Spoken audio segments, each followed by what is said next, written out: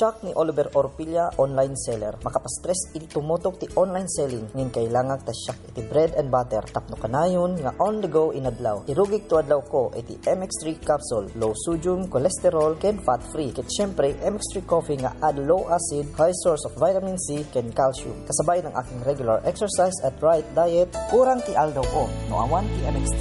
Salamat, MX3. Mahalagang paalala, ang MX3 capsule ay hindi gamot at hindi dapat gamiting panggamot sa anumang uri ng sakit.